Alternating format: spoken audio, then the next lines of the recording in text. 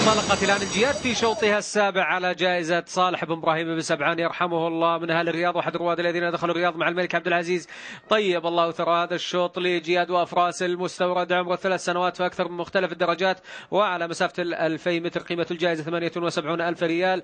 وبمشاركة بارس بيرفكت ورفيق النشامة وصادقة الوعد ومدها ولاروزا نوسترا وأوروبا والأرهم وستريت سابارت ويدري ووحشية وفيرت شابيو وغاية المقصود وفيلينو وهوكسبور وكما تشاهدون الآن انطلاقة لهذه الجياد الأرهم يقود الآن الجياد في المركز الأول بارس بيرفكت في المركز الثاني لاروزا نوسترا في المركز الثالث وأيضا المركز الرابع لرفيق النشامة وأيضا هناك متابعة من أوروبا من الخارج في هذه الأثناء والصدارة للأرهم في المركز الأول. متقدم الآن الأرهم يتبع باريس بيرفكت المرشح الأول في هذا الشوط.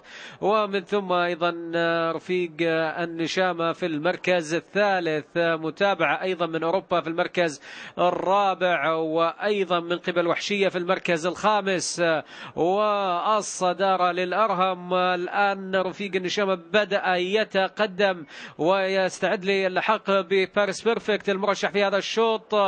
الصدارة الآن تنافس ما بين الأرهم وباريس بيرفكت مع دخول الجياد للمنعطف الأخير باتجاه خط النهاية وباريس بيرفكت يحاول أن ينتزع الصدارة. بالفعل ينتزع الصدارة باريس بيرفكت في المركز الأول. يتقدم الآن مع كاميلو سفينة في صدارة هذا الشوط باريس بيرفكت في المركز الأول آخر 200 متر في الشوط السابع على مسافة ال 2000 متر وباريس بيرفكت المرشح في المركز الأول الأرهم في المركز الثاني. وكما تشاهدون باريس بيرفكت يصل إلى خط نهاية معلن فوزه بالمركز الأول. ألف مبروك.